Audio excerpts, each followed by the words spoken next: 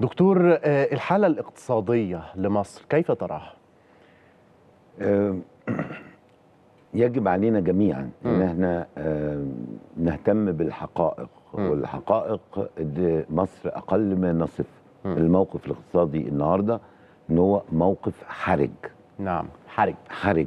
ده أضعف ممكن نقول الحالة الاقتصادية ضعيفة جدا ممكن نقول هناك مشاكل وتحديات كبيرة جدا إنما الوضع الكلي حرج بمعنى كلمة حرج معناه إن أنت في نقطة قد تستطيع أن تقع منها السلام أو تقع مم. كلمة حرج هنا أقصد بذلك.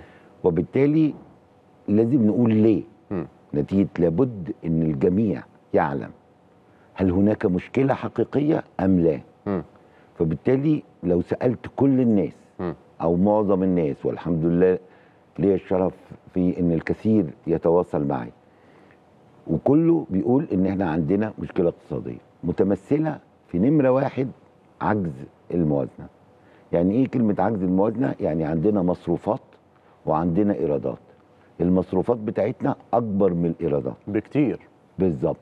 وبالتالي هنا إنك عندك عجز زي ما سياده فخامة الرئيس قال إن عيلة وعندها دخل معين وعندها مصاريف. فلو دخلها أقل من مصاريفها اذا هنا موضوع, موضوع يجب إن إحنا الأسرة كلها تنظر إليه. تمام. نمرة اتنين في الجانب الآخر من العملة الأجنبية والبنك المركزي إن ضعف الاحتياطي النقد الأجنبي. مم. بمعنى صح إحنا النهارده كما أعلن البنك المركزي عندنا 15.5 مليار دولار مم. الحد الأمان 25 ل 30 مليار مم. يبقى إحنا في موقف بالنسبة لاحتياطي النقد الأجنبي ضعيف مم. عندما يكون احتياطي النقد الأجنبي ضعيف بمعنى أصح إن أنت عندك مستلزمات واجبة أنت بتتكلم على زي ما حضرتك اتفضلت الدعم عندك 40% من القمح بنستورده مم. عندك 90% من الزيت بنستورده مم. عندك 40% من السكر بنستورده إذا بنتكلم عن أساسيات هنا لا يمكن إن الحكومة لابد أن توفي هذه الالتزامات. ضف لذلك بقى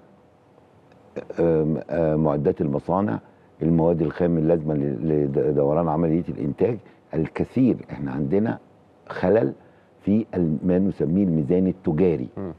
يعني إحنا بنصدر بقد إيه وبنستورد قد إيه فبناء على الأرقام المعلنة من الحكومة إن هنا عندنا عجز في الميزان التجاري 40 مليار دولار. مم. يعني بنصدر بحوالي 20 عشان نبقى أرقام مقربة وبنستورد بحوالي 60